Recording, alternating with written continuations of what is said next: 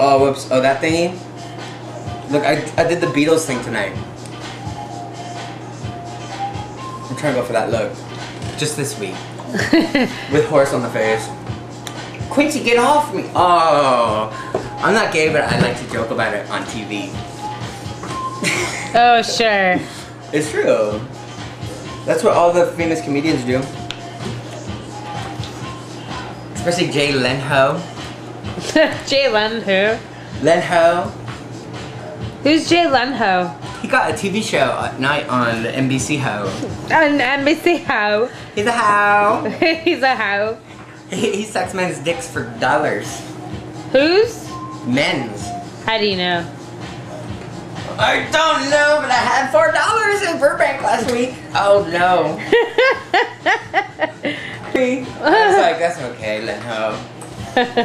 Because you can only hit Lenho like three times, and you're like, oh, Lenho, your chin hit my butt again. Takes me out of the whole mindset. And then Oprah comes on the TV.